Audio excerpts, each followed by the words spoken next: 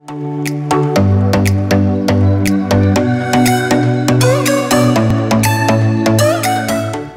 ik ben Tesse en ik studeer toegepaste psychologie aan de Han in Nijmegen. Kijk mee naar een dag uit mijn leven. Vandaag beginnen we met een college waarbij we starten in een heel groot lokaal. Van drie lokalen uh, maken we dan één lokaal door de wanden weg te halen. Uh, we krijgen dan een college over verandertrajecten en transities. En hoe we daar als uh, toegepast psycholoog mee aan de slag kunnen gaan. Um, en daarna in de middag gaan we aan de slag in kleinere groepjes waarbij de wanden dicht gaan. En waarbij we onze eigen training gaan pitchen aan elkaar. Um, en als derde gaan we nog aan de slag uh, met het deel van onderzoek, waarin we ook gaan kijken hoe we ons eigen onderzoek nog beter kunnen maken.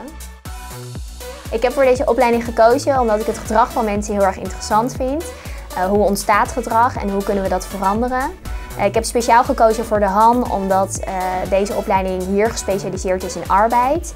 waarbij we meer gaan kijken hoe we medewerkers in een organisatie kunnen coachen en kunnen trainen. En hoe we echt dat gedrag binnen de werkvloer kunnen veranderen. In mijn vrije ruimte geef ik voorlichting aan studenten die toegepaste psychologie willen gaan studeren.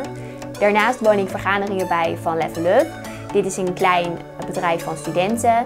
En tijdens die vergaderingen kijk ik of zij interessante projecten voor mij hebben bij externe opdrachtgevers. Het leukste project wat ik tot nu toe heb gedaan is voor preventie. Toen hebben we extern bij het bedrijf een onderzoek gedaan. En bij dat onderzoek hebben we gekeken hoe we de medewerkers meer konden laten bewegen rondom het werk. En uiteindelijk hebben we ook een lunchwandeling georganiseerd. En dat was hartstikke leuk om te doen. En we hopen dat de medewerkers nu ook meer zijn gaan bewegen rondom het werk. Naast mijn studie hockey ik. We spelen ook elke week een wedstrijd. En ik doe dit al sinds dat ik heel erg klein ben. Dit was een dag uit mijn leven. Ik ga nu trainen en ik hoop je nog een keer te zien.